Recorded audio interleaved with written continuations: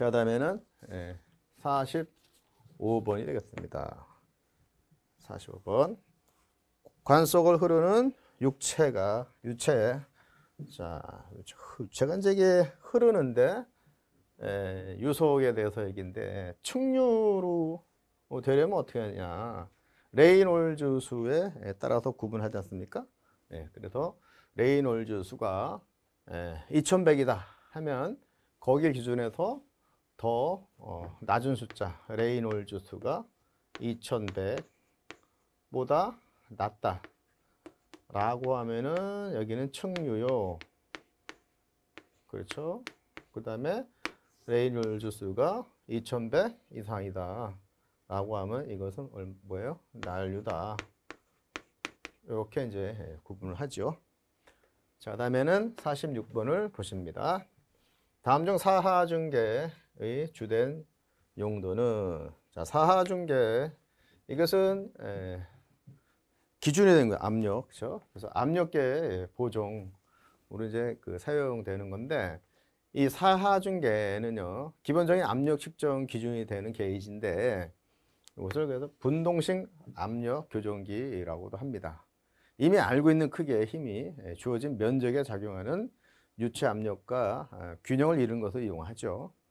피스톤을 상승시키는 유압의 추의 무게와 균형을 딱 맞을 때, 균형이 될 때 바로 이 압력을 측정하죠. 그래서 압력은 단위 면적당 힘이잖아요. 그래서 이것은 힘이라는 것은 mg니까 a분의 mg 해가지고 이런 관계로 해서 압력을 예, 측정하는 겁니다. 자, 다음에 47번을 보겠습니다. 47번은 뭐냐? 시스 열전대 예, 온도계에서 열전대가 있는 보호관 속에 충전되는 물질로 구성된 것은 뭡니까? 바로 마그네시아하고 알루미나가 되겠습니다. 자, 다음에는 48번을 보시겠습니다. 지름이 각각 0.6 미터, 0.6m. 자, D1, 1 0.6이죠. 여기가 0.6m. 그리고 D2 줄었죠. D2 지름이 0.4m다. 자, 이렇게 이제 있다. 그래서 1에서 유속 뭐죠? V1이 얼마? 8 미터 파세크다. 라고 하면은 V2는 얼마일까? 이러한 이제 문제가 되겠습니다. 이것은 이제 연속, 연속의 정리, 연속의 법칙에 의해서 AV, 일종 A1, V1은 A2, V2 이렇게 되죠. 그래서 V2라는 것은 바로 A1 그렇죠? 그 다음에 A2 곱하기 A2분의 A1 곱하기 V1 하면 되는 거죠.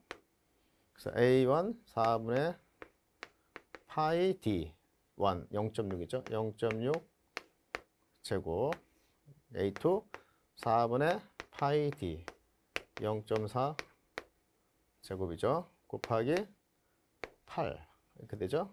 그래서 이거 약분이 되고 0.4 그러니까 이게 요, 요건 정리라면은 얘는 0.4분의 0.6 이걸 제곱한 거잖아요. 거기다가 곱하기 8을 합니다. 예, 계산을 하시게 되면 얼마 되냐?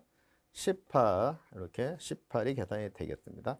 18 미터파 아, 세크 이렇게 되는 것이죠. 이렇게 하시면 되겠습니다. 자, 다음은 49번 예, 보시겠습니다.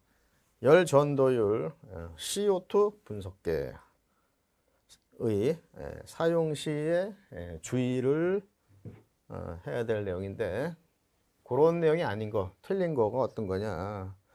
자, 이러한 문제가 아, 되겠어요. 1번 브레츠의 공급 전류 점검 확실하게 해야 하지요. 두 번째 셀의 주위 온도와 측정 가스 온도는 거의 일정에 유지시키고 온도의 과도한 산성을 피해야 되는 것입니다. 자, 세 번째 H2를 혼입시키면 정확도를 높임으로 같이 사용한다. 아닙니다. 떨어집니다. H2를 혼합한다. 혼입시킨다. 이러면 정확도가 떨어져요. 그래서 절대로 같이 사용하지 않아야 하는 것이죠. 그래서 3번 정답이고요. 4번은 가스 요속을 일정하게 하여야 하겠습니다.